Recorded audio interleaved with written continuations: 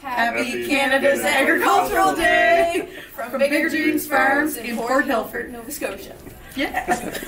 South River Ranch in Antigonish. We raise uh, cow calf to finish as well as cash crop and uh, breed and train and sell horses. Hi, my name is Blake Jennings from Baby Poultry Farms in Masstown. Happy Canada's Agriculture Day.